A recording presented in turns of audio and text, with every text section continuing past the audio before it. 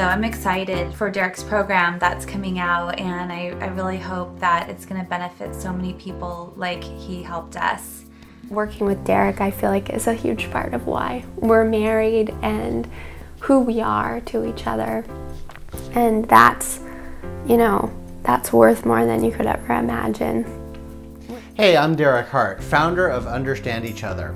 And I have a framework that will teach you how to build a fulfilling relationship or repair a problematic relationship. I have a mantra around my couples counseling office, and it's this you're either being defensive or vulnerable. And here's what I mean by that relationships work when you and your partner know how to listen to each other, especially when you disagree.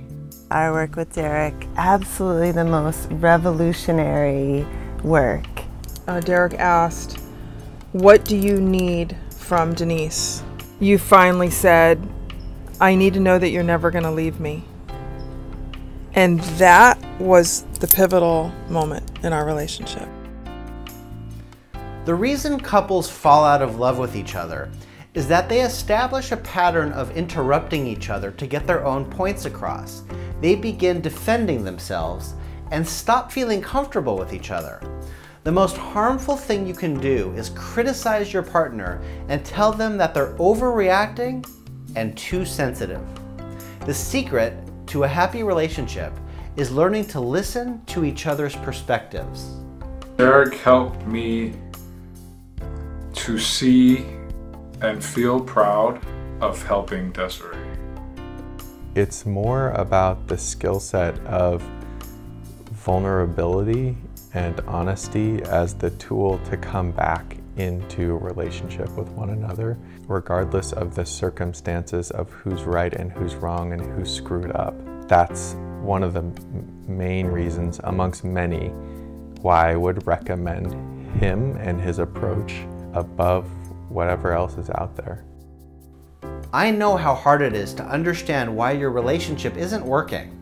When you open up and share what you really need, and don't blame your partner for any part of it. Your partner will trust you and open back up to you. Now that he tells me the truth and it's, it's congruent with what I'm feeling from him, now I can fully trust him. The right move was to fully open my heart to him. That's what I hadn't done in 21 years. What if the problem is that you simply don't know how to listen to each other? Your partner is rarely asking you to change your behavior. They're asking you to listen until they feel heard and understood. With Derek, I was able to say what I was feeling and how exactly how I was feeling. I was able to speak to you and you actually listened to me. I felt heard. We had we had been to other therapists before and I had always left feeling like that was a waste of time, it was a waste of money. There are three parts to this process. The first thing I'm going to teach you is how to replace defensiveness with vulnerability. Every relationship has conflict, but the key to staying in love is knowing how to repair conflict quickly. In part two, I show you how to build trust in your relationship, which happens when you stop judging and rejecting each other and begin telling the truth with more sensitivity towards each other. In the third part, I'll teach you how to listen for the details your partner really wants you to know, so you stop going round and round debating each other. You'll witness the relationship strategies that my private couples use to create acceptance, approval, laughter, and respect with each other. Just like the closeness that we have, the trust that we have together in a new way that is really totally different than what where we were before yeah. at any other time in our marriage. There's a different level of trust, a different level of acceptance.